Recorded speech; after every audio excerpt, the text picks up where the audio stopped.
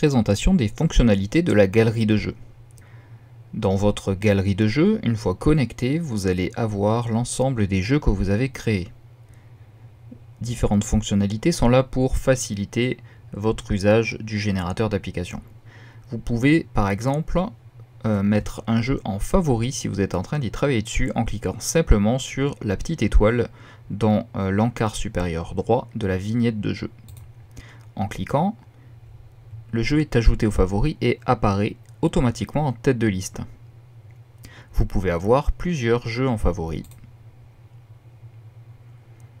Pour supprimer le jeu des favoris, il suffit de recliquer sur l'étoile et le jeu est supprimé des favoris. Lorsque vous avez terminé la création d'un jeu et que le jeu est joué par donc différents joueurs, par exemple vos élèves, vous pouvez euh, verrouiller un jeu. On peut parler aussi d'archiver un jeu pour éviter euh, qu'il n'apparaisse au début de votre galerie et pour éviter des erreurs de manipulation.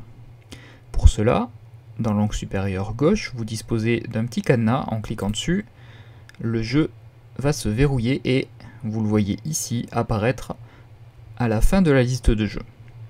Le cadenas devient orange et fermé.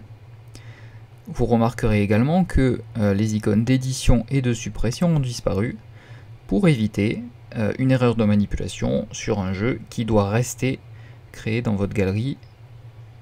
Pour le déverrouiller tout simplement, vous pouvez recliquer sur le cadenas et toutes les, toutes les fonctionnalités apparaissent à nouveau et le jeu est bien déverrouillé.